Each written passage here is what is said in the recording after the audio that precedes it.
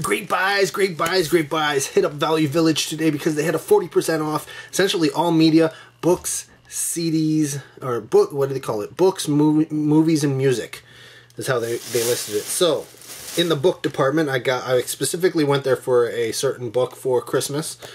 Um, but I also found this. R.L. Stine's The Babysitter, so pick that up. Ended up being like a buck.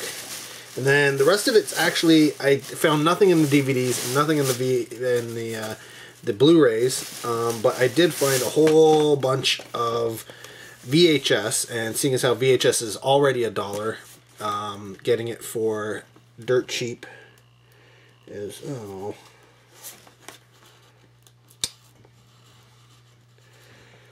I didn't see that. Oh well. So what I thought was a factory sealed Shaun of the Dead, which is, ended up being damaged on the side, and I didn't even notice that.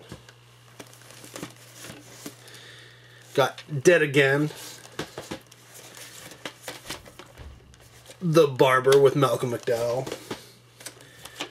Widow's Kiss. There was quite a few that were factory sealed, which is kind of cool. A bunch of these I haven't seen before. Whoops. Fatal Error. The Nightmare Room. This is factory sealed. Um, Hell's Gate. Another factory sealed one. Death Ring.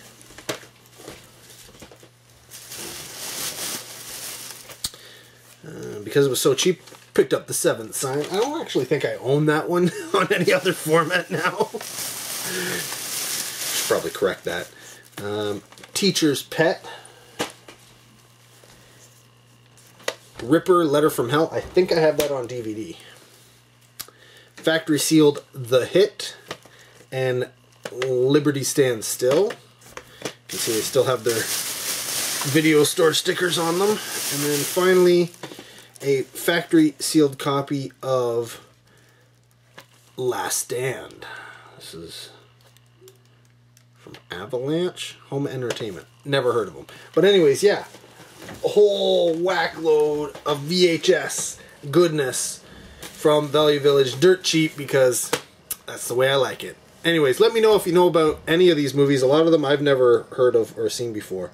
Um, but uh, yeah, I don't believe many of them have made it to DVD, let alone Blu-ray. So I figured I'm going to pick these up and check them out. So, yeah, thanks for watching. Comment down below. Love to hear from you. Till next video, take care.